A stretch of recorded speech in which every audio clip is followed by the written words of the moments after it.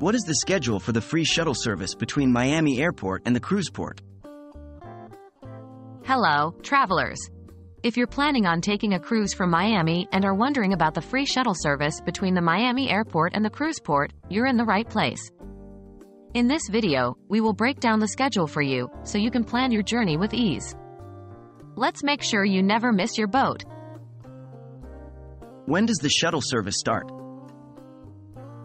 The free shuttle service typically starts its operations early in the morning at around 6 a.m.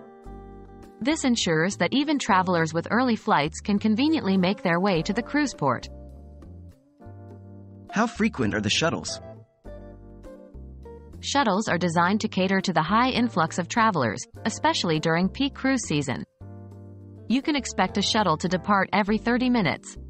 However, during particularly busy times, the frequency might increase to every 20 minutes. When is the last shuttle?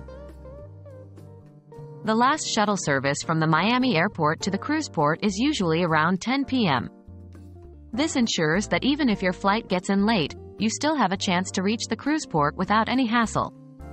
However, always plan to get to the airport well before the last shuttle, just in case of unexpected delays.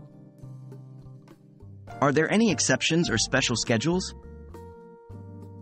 On certain holidays or during major events in Miami, the shuttle schedule might see some changes.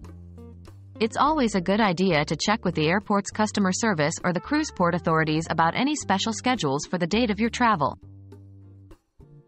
We hope this information helps you plan your journey between the Miami airport and the cruise port smoothly. Remember, the shuttle service is free, so make sure to take advantage of it. Safe travels and enjoy your cruise.